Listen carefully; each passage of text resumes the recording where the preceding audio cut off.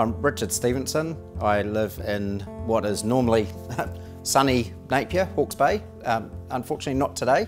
I live here with my wife Lisa and two kids, dog and a cat and 18 fish and all the other stuff that you have.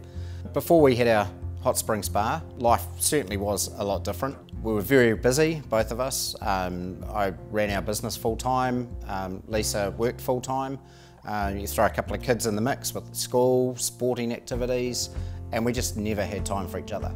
Getting a spa pool had always been an idea, um, up until it became a reality when I had a pretty nasty accident which left me temporarily paralysed down one half of my body. The injury was a result of a freak motor vehicle accident. Um, luckily myself, I was the only one injured, but it really did turn our family life upside down. I, mean, I ended up, I was on 27 pills a day. Couldn't go to the toilet, couldn't, I couldn't do anything. You know, it was, you certainly got no dignity in hospital. Following on from the accident, I went through a lot of rehab, uh, a lot of physio, a lot of uh, hydrotherapy in the physio pool. Um, I had, it got to the point where I felt like I was living there.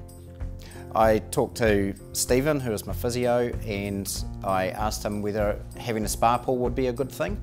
Um, he said, yep, couldn't see any problem with it, go for it, and we started looking for spa pools. After we decided to buy a spa, uh, we looked around at various options. We ended up going with a hot spring spa uh, due to the build quality, the superior insulation and the low running costs. Since having the spa, my recovery's been, it's been great. It's, it's easy uh, because it's at home. I can just literally walk out of our bedroom and straight into the spa. I don't have to worry about battling traffic to get into town. Um, I can adjust the temperature to what suits me. I can adjust the jets to what suit me. I can do all the exercises that I was doing in a communal pool uh, on my own and do it when I feel I need to.